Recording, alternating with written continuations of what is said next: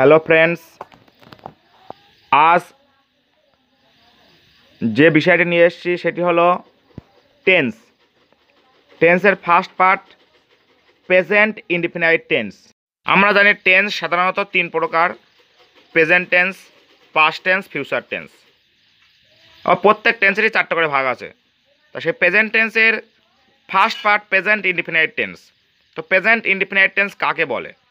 অর্থাৎ বর্তমানে কোনো কাজ যেটা সাধারণভাবে হওয়া বোঝায়, তাকে বলা হয় প্রেজেন্ট ইনডিফিনাইট টেন্স যেখানে এখানে গঠন আমি লিখে দিয়েছি সাবজেক্ট ভার্বের ফার্স্ট ফর্ম অবজেক্ট এখানে এক্সট্রা চিহ্ন মানে লেখা আছে সাবজেক্ট যদি থার্ড পার্সন সিঙ্গুলার হয়, তাহলে ভার্বের সাথে এস ইএস যোগ হবে।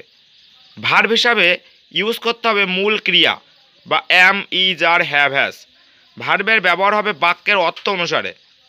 উদাহরণ দেওয়া আছে, রাম ভাত খায়, রাম ইটস রাইস সো এখানে ইটস কেন হলো?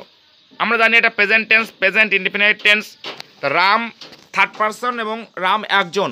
তা থার্ড পারসন সিঙ্গুলার হলে ভার্বের সাথে এস বা ইএস যোগ হয়। তো এখানে এস যোগ করেছি। সে স্কুলে যায়। He goes to school he third person he মানে সে? অর্থাৎ একজন। রাম হয় ভালো ছেলে। তাহলে এখানে রাম হয়। তাহলে রামটা সাবজেক্ট তাহলে হয় এখানে নিশ্চয়ই মূল ক্রিয়া নয়।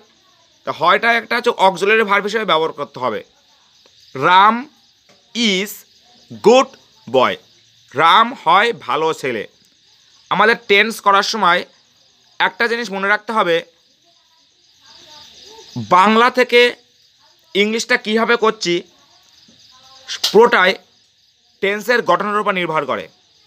যদি টেন্সের গঠন ভালোভাবে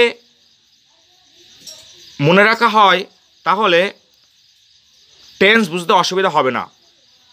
সো পরবর্তী ভিডিওতে আমি পরের টেন্সগুলো এক এক করে নিয়ে আসব। ভালো লাগলে লাইক, শেয়ার করতে ভুলবে না।